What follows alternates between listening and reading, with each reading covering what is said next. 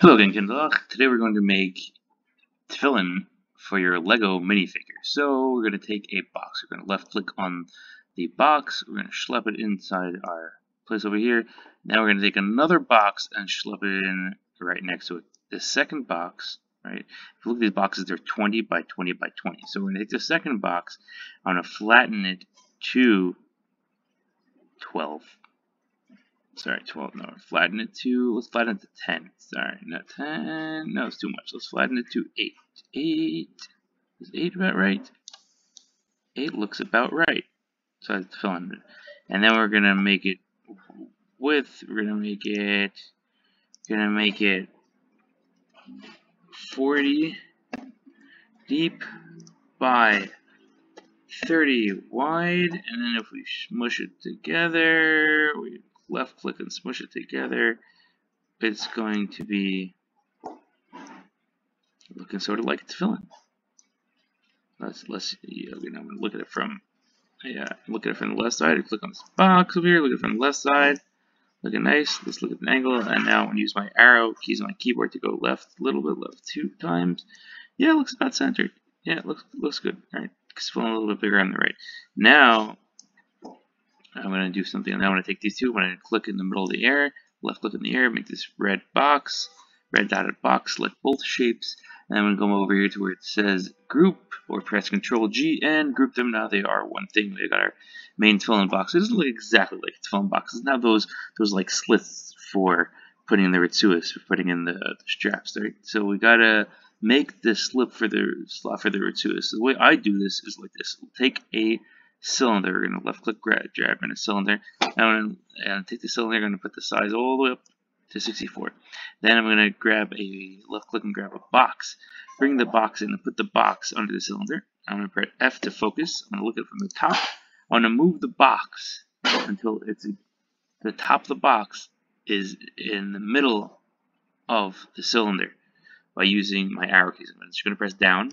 One, two, three. I think three is too much.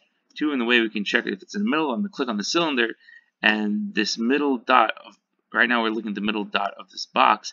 If I click on the cylinder, the middle dot should be where this line is for the, the which shows the edge of the box. If I let's, let's left click on the cylinder, and bam, it's right there. It's around the box. That means halfway.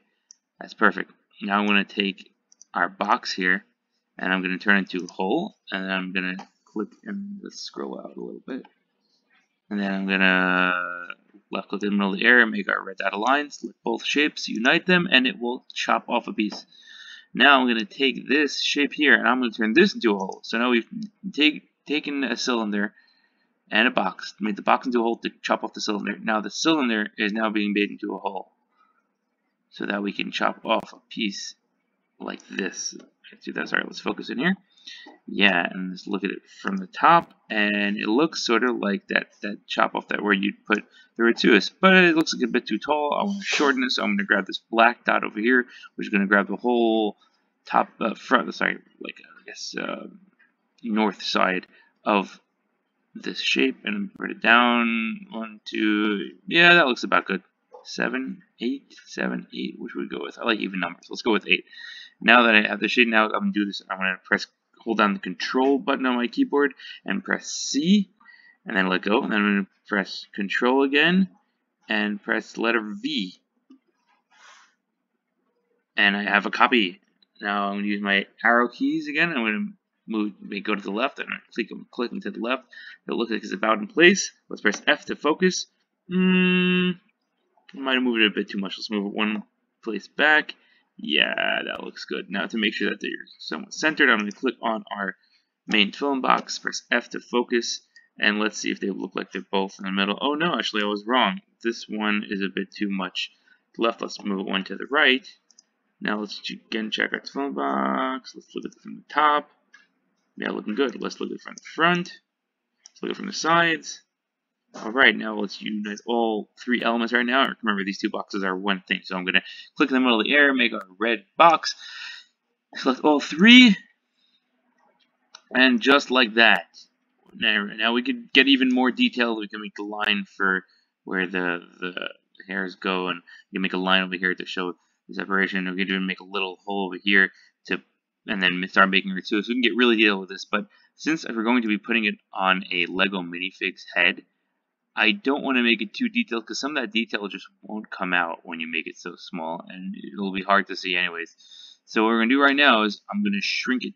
But what size do we shrink it to? So I, before doing this, I downloaded a Lego minifig head made by an amazing man over on a different website. I'm going to put a link to that download. It's free to download.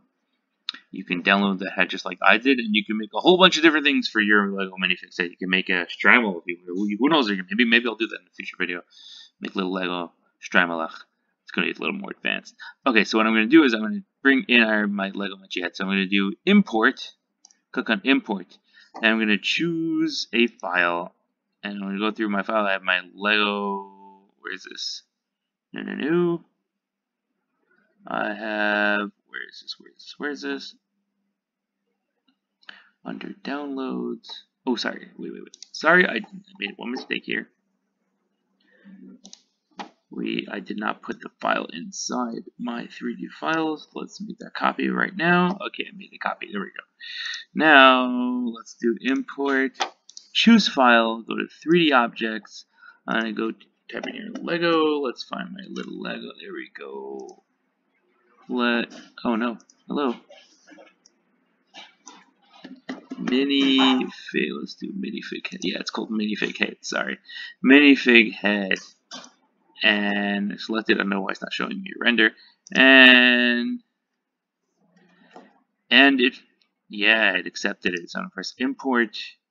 And, oh, it's probably gonna show up right underneath this box around. Oh, it's over there. There we go. So let me let me let me right click in the middle nowhere to move around. Yeah, there we got our Lego minifig head. Yep, it's looking good. So now we're gonna take our filling box here, which just looks a bit too big for a little minifig head. So we're gonna shrink it. We're gonna shrink it, shrink it, shrink it, shrink it along this side. I'm grabbing the corner. I'm gonna shrink it this way. But oh, so it looks like it's good now. And the horizontal and its depth and its width look good, but its height is too high, so let's shrink it a little high. Let's make it shorter, shorter, shorter. Ooh, too much. Mm, no, then again, we gotta make it a little smaller, smaller this way, and, uh, oh, that was too small. Okay, 11 by 13. 11 by 13 sounds nice. The top will be like 8. Let's double check it before we make any final decisions. Yeah, it's looking like a filling box. Looking like a filling box. Good enough for a Lego Magic Now we have this Lego Head we imported how am I going to make sure this filling fits on a Lego Magic Head? What what thing do you think we could do? We could, we could turn. We, what can I do with this shape right now? Like I can't stretch it. I can't like turn it. I mean, I could twist it in a circle, do like that, and Control Z to go backwards. Um, but what I can look at this. We're gonna do here. I can make it into a hole. Look at that. And this will allow me to cut out an exactly Lego Menchi sized hole in the tefillin. So now we'll take our tefillin. Uh, actually, let's make it a little smaller. Let's make it a little, little small, a little smaller. Sorry, sorry, sorry. Like that, 1 by 8, shorter. Perfect, 6. Now going to hold the little triangle top, raise it up, move it over. Oop, that's not what I wanted to do. Here, LZ, sorry. Actually, we can always do Chuva over here, and I'll move it over to Lego Menchi's head. Oop, that's too low. Let's F to focus. Let's make sure that it's not that it's the right height. We're gonna take a zoom around to look sure where it is. Grab the little triangle on top, move it up, up. There we go. We can see the Lego Menchi peg in the middle, but it is there. Now we've got our tefillin that can fit on a Lego Menchi's head. Amazing. We could even we could even angle that tefillin. Let's do that. Let's angle it just a little bit. No, that's too much. Let's angle it. Oh, let's zoom. Whoa, where am I zooming around everywhere? Okay, sorry. I'm using my scroll wheel a bit too much. Okay, let's take this angle. We're gonna hit, and I'm gonna click on the angle. Sorry, let's do it again. I'm gonna click on this little angle, this little back and forth. I'm gonna click on it, left click on it, then I'll move my mouse up to make sure I'm in the. Because if, I, if it's down, it's in these hard degrees. But if I want it to be a little more accurate, I move my mouse up first, and then I move it to the left. Let's move it like, let's move it like, let's move it like 5 degrees. 5 degrees is good. Now I'm going to lift my tefillin up. Let's double check. Let's make sure. Whoa, that is not what I meant to do. Let's do focus over here. Sorry. Let's make sure it is around. It's sort of in there. Mm, it should be a little lower. Let's move it down. Oh, let's move too much. We want to move it down negative 0.5. Yeah, that looks about right. Negative 0.5 That's how much I want to move down. Yeah, the, the little Lego metric peg is in there. Not all the way, but good enough. Actually, let's, let's, let's move down. Let's move down a little more. Let's move down a little more. Let's do negative. Since I already moved it to 0.5, I'm going to move it negative 0.2. Negative 0.2. Yeah, there we go. So it's a little bit inside Lego Menchie's head. Completely inside the peg from their head. Leaning a little forward. Perfect. Now I'm going to, again, click in the middle of the air, meet this red box, select both shapes, and hit unite, and look at that.